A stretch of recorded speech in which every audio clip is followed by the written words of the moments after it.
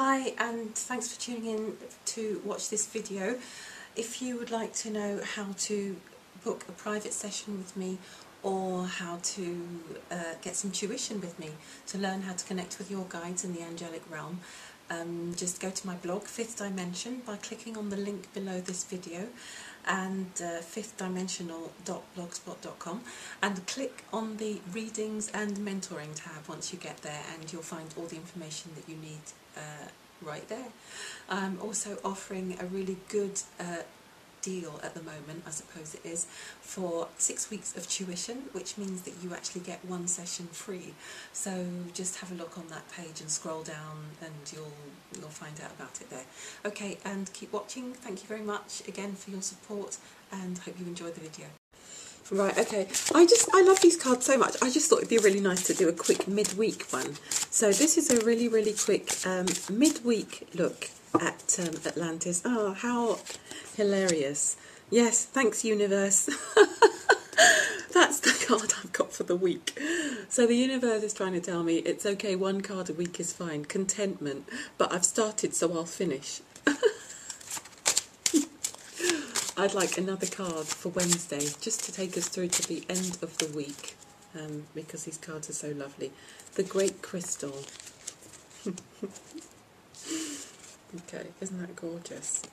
Okay, a vast quartz crystal of pure source energy graced the temple of Poseidon and created an intergalactic, intergalactic portal.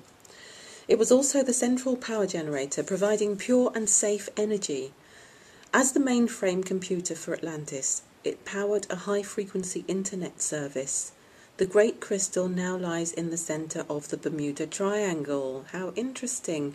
And I'm really intrigued by um, what that says about it uh, providing a high frequency internet service. And I'm wondering whether that high frequency internet service is, service is something to do with the telepathy that I was talking about at the beginning of the week.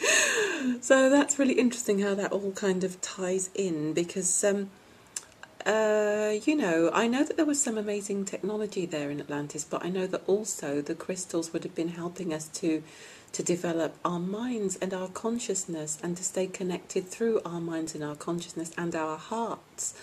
Um, rather than just through radio frequencies and um, such like. So, okay, this card suggests that you look at the source of your inner power. Do not underestimate yourself. Every thought, word, and action radiates an energy that affects others and draws situations and people to you. Make sure your aims are for the highest good.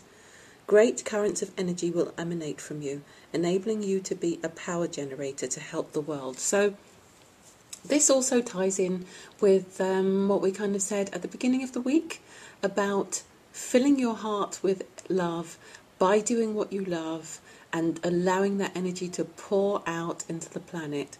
Um, it's about, it's a reminder that we are a very powerful structure for embodying a lot of energy, of God consciousness, of cosmic consciousness, of transforming, uh, life affirming, world shaping energy.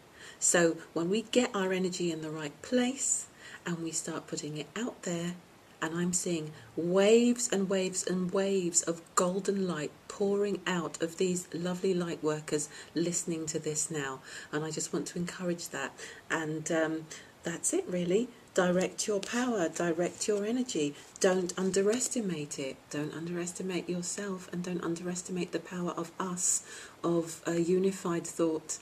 Okay, thank you very much for watching. Enjoy the rest of the week and the weekend. Speak to you soon. Bye.